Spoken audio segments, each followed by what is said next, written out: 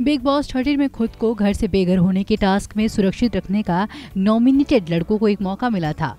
हालाँकि यह टास्क रद्द हो गया है। खास बात है कि इस टास्क को किसी और ने नहीं, बल्कि बिग बॉस ने रद्द किया है। इसके साथ ही घर वालों की लगन की तारीफ़ भी की। इस टास्क के दौरान कुछ ऐसा हो गया कि कई घर वाले आपस में ही झगड़ा करने लगे। इसकी वजह सिद्धार्थ डे का विवादित कमेंट था। दरअसल 18 अक्टूबर को टेलीकास्ट हुए एपिसोड में दो लड़कों के पास खुद को सुरक्षित करने का मौका था।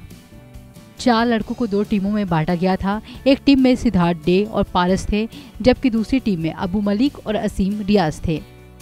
लड़कियों को तय करना होगा कि वो किस टीम को बचाएँगी।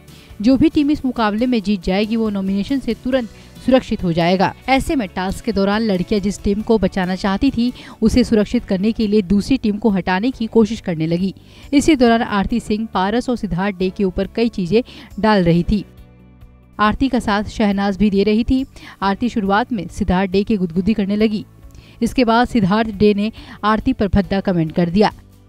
सिद्धार्थ डे का यह कमेंट सुनते ही आरती को गुस्सा आ गया और उन्हें खरी कोटी सुनाने लगी।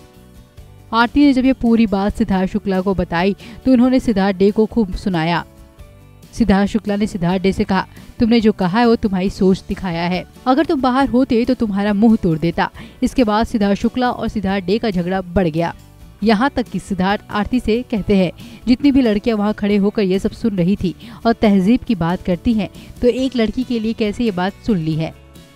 आपको बता दें, इस बार घर से बेघर होने के लिए पारस के अलावा सिद्धार्थ, डे, अबू मलिक और असीम, रियाज नॉमिनेटेड हैं, जबकि लड़कियों में रश्मि देसाई और माहिरा शर्मा है।